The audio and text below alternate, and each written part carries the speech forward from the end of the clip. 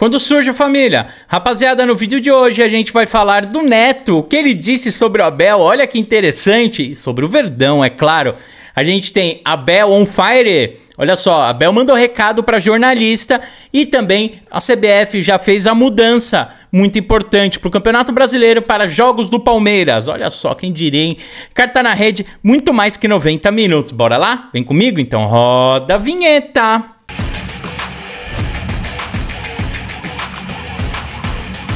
Fala time, como vocês estão rapaziada? Estou muito bem, é com muita palestrinidade que a gente vem para mais um vídeo. Rapaziada, muito obrigado pela sua presença, por você estar aqui, por fazer parte desse show, já agradeço o seu like. Iniciando esse vídeo muito bem, eu trago aqui para vocês logo de cara, rapaziada, o Guga. É o seguinte, o Guga ele vai te ajudar a ter uma renda de até 3 mil reais, olha que top. Se você quer ter uma renda extra ou uma renda fixa, é isso mesmo. Com esse novo método de trabalho, o Guga ele já mudou a vida dele e de milhares de pessoas. Olha esse recado. Olha isso aqui, ó. Depois que eu e milhares de pessoas descobriu essa nova profissão, ninguém mais quer ficar trabalhando de CLT. Olha só o meu resultado aqui dessa conta que eu criei faz oito dias, ó. Pra ajudar o pessoal desse canal, eu tô liberando agora apenas 100 vagas pra eu poder entregar uma aula gratuita lá no meu WhatsApp. Só pra você ter ideia, tem tanta gente tendo resultado que olha só o resultado desse rapaz aqui que conseguiu comprar a sua casa com pouco tempo de mercado. Corre lá, acessa aqui o link que tá na descrição, o link que tá no comentário fixado, me chama lá no WhatsApp, salva meu contato, que eu mesmo vou te explicar como que você pode começar nessa nova profissão. É, rapaziada, como vocês viram o recado do Guga, é super fácil, tranquilo, você só precisa de um celular com internet, é top, beleza?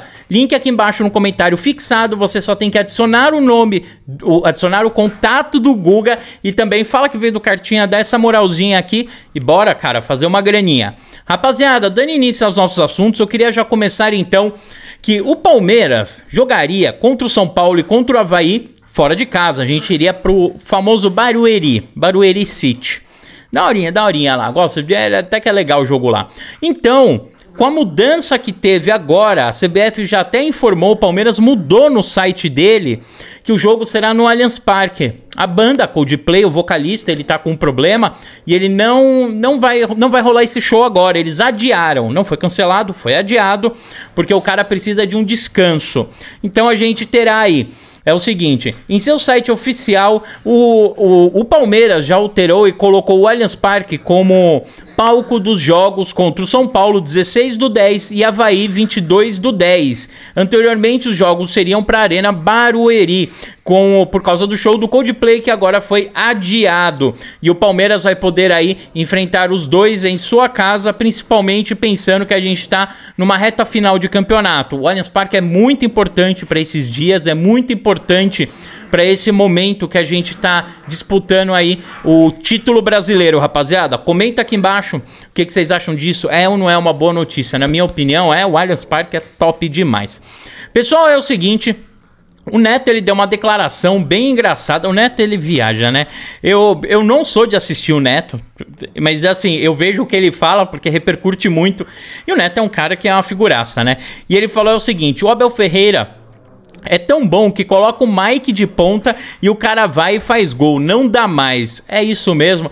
Aí a gente tem agora o Abel Ferreira, o Neto também se rendendo novamente, né? Já a terceira, quarta vez que ele vem e fala bem do Abel. E isso daí mostra, né, o trabalho do Abel, tudo isso como resolve o problema que o Palmeiras tem que falta contratação, isso a gente não nega, mas aí o trabalho do Abel mental, o trabalho que ele coloca dentro do time é muito bom. Eu falei para vocês no vídeo anterior que o Mike ele se deu muito bem ali porque o Palmeiras estava precisando, o Palmeiras ficou sem zagueiro, aí o, o, Marcos Rocha ele ficou um tempo fora, quando retornou o Mike já estava bem, aí faltou a volância, né? Os dois ali foram expulsos, então o Abel acabou colocando ele ali no meio, depois ele foi para frente para jogar como ponta, mas o porquê que ele colocou o Mike de ponta, né? Colocou ali na ala esquerda, porque o Mike é um cara rápido e é um cara que chuta bem pro gol. Já é o segundo gol do Mike desses últimos tempos, assim, fa falando de cabeça, tá? Deve, se fez mais, eu não me recordo tão cedo,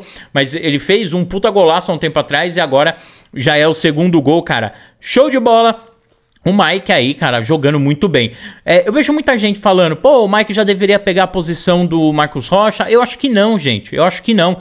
Isso eventualmente pode acontecer, mas a gente sabe que o Abel não vai tirar o, o Marcos Rocha tão fácil, tão rápido assim. Vai colocar o cara e deixar ali o Mike talvez numa outra posição, principalmente que a gente tem o Veiguinha lesionado, né, rapaziada? Pessoal, é o seguinte. Agora eu queria vir pro assunto que foi um pouco indigesto no dia de hoje. Eu cheguei até a comentar, né, que o, o Abel ele tava on fire, aquela patada que ele deu no jornalista.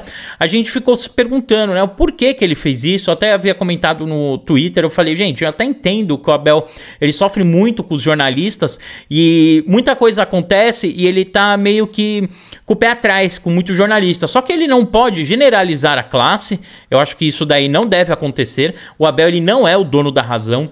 E ele é muito perseguido. Eu saio em defesa dele, eu sou um dos primeiros a sempre sair em defesa do português, que ele é embaçado. Só que tem coisas que acontecem, a gente olha assim e fala, pô, Abel, mas tinha que fazer desse jeito, tinha que falar assim, tinha que isso, sabe? E ele deu aquela patada no jornalista. E agora, em poucas horas, o Abel entrou em contato com o jornalista e explicou para ele que quando ele começou a fazer a pergunta falando da expulsão dos 11 jogadores, ele já imaginou que era aquilo que ia chamar o time dele de retranqueiro, daquelas coisas que aconteceram, né?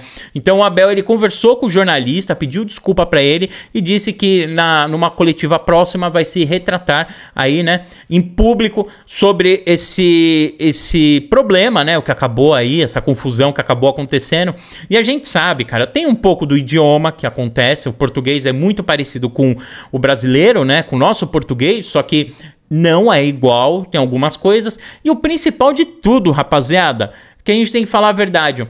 O Abel veio e pediu desculpa. Fiz merda, fiz coisa errada. Ó, tá aqui, ó, meu irmão, desculpa. Eu agi errado. Não foi assim que deveria ter sido feito. Muitas vezes Agora, assim, em defesa do Abel também. Muitas vezes, quando os jornalistas eles vão e falam alguma coisa que ataca o Abel, ninguém vem pedir desculpa. Ninguém vira e fala, ó, oh, aqui, ó, eu virei, eu falei isso aqui na TV e peguei pesado. Desculpa aí, Abel. Não é assim, tá? Acabou, gente. Problema resolvido. E isso aí teria resolvido muito problema de jornalista sendo mandado embora, jornalista ter ficado mal com a torcida do Palmeiras, sabe? Porque na realidade, gente, ninguém é amigo do Abel. Não tem como você criticar o Abel de uma forma de colocar o lado pessoal dele em jogo. Ninguém é amigo do cara. Ninguém é, é parente dele. O Abel ele vem e fala ali na coletiva. O Abel não é arrogante. Não é. Nunca foi. Só que muita coisa que já aconteceu aí nesses últimos meses em questão de atacarem o Abel, que o cara fica com o pé atrás. Eu também não tiro, não tiro a razão do que aconteceu. Só que foi para pessoa e momento errado. Às vezes você dá uma cutucada e um recadinho para uma certa pessoa, para outra, tá ótimo. Só que infelizmente o menino, menina aí que a gente vê que o cara é jovem, jornalista jovem, acabou sofrendo por isso e faz parte do jogo. Aí o Abel. E eu já tinha achado estranha essa pergunta. Eu falei, nossa, gente, mas o Abel pegou tão pesado. Rapaz, tá, tá mal mesmo o negócio, né? Aí se retratando. Beleza, rapaziada? Pessoal, muita informação como sempre. Aqui sempre dois vídeos por dia trazendo as melhores informações do Palmeiras. Quer ficar atualizado? Então vem aqui embaixo, se inscreve, deixa o like e comenta avante palestra. Dá essa moral que eu dou uma moral para vocês. Fiquem com Deus, um grande abraço, muito obrigado pela sua audiência, pela sua paciência, por fazer parte disso aqui. Falou!